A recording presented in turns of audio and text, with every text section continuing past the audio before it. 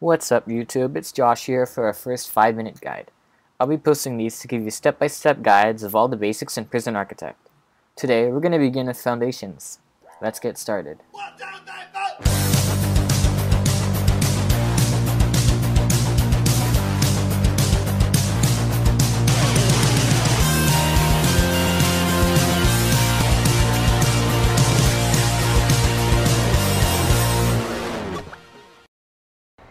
So the very first thing when you start building your prison will be foundations.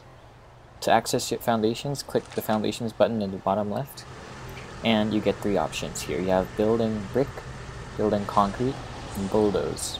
Uh, brick and concrete, um, that's basically the two different wall materials you get. There's no difference in strength or how prisoners can tunnel them, tunnel through them.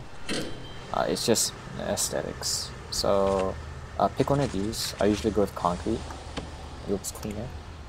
Uh, so basically, to place the foundation, you will basically get it the size you want. Okay, let's make this one 15 by 15.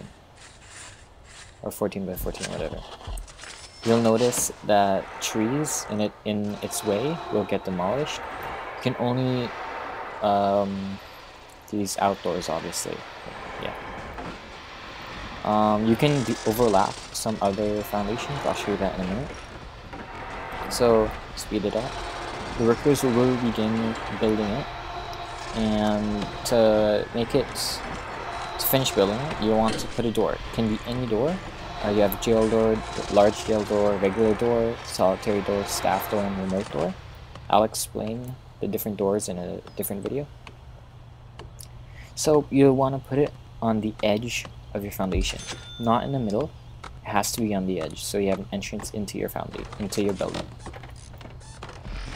See, that tree is gone now. This is done, and boom, it's done. Uh, your workers will automatically place in lights, and you'll need to route electricity to that. Again, I'll show you that in a different video. So yeah, that is the basics of how you build a foundation. If you want to add on to an existing building, there are two ways, there are two different ways you could do this. Um, if you want this to be its own separate room, all you have to do is put it up against the building. Don't overlap it, just put it up against the building and it'll uh, build another room there. If, however, you want to expand the room, let's say we want to expand this room right here, uh, you want to overlap it. See? Now this here doesn't require an entrance because they're going to demolish this wall. But this does because there's a wall between it. So you can put a door there. See, if we watch this. This wall will get demolished and it's done. Done, done. Yeah, see? So as you can see this, um, it expands the room. You'll get some rubble from demolishing the wall, but your workers will come and dump it. And see here, you have an, your own separate room here. Okay, now there are a lot of issues when building um, these foundations. Let's say you, you already plotted out an area with walls like this, and you're gonna put an entrance here. Yeah, let's go ahead and put an entrance. Work faster. Okay, so you have this area here, and you want to fill it with foundation, and you do this, right? There's a problem with this. See, it says requires entrance because this area right here isn't against the wall, and the wall itself isn't part of the foundation, right? So you would have to put another door here for it to actually recognize it as a door because it has to be actually on the foundation, not outside it, not in the middle, on the edge to, I guess, to get around this, I think you can do this. Can you do this? Yeah, you can include the walls as your foundation. Make sure to do that. That's really important. Include the walls as your foundation, and that did not work. That was bad.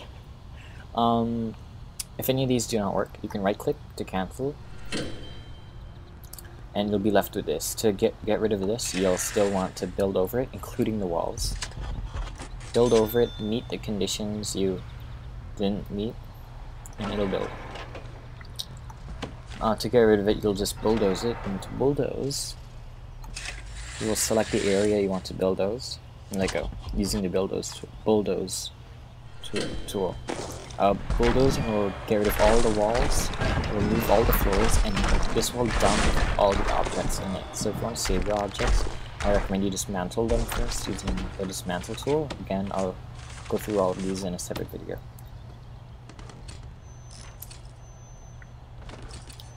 So yeah, that is foundations in a nutshell. If you have any questions about building foundations, drop them in the comments below and I'll be sure to answer them. Don't forget to check out the first episode of my Let's Play series and subscribe to me to get more of my videos. Next episode will show you how to lay floors and other materials. See you next time.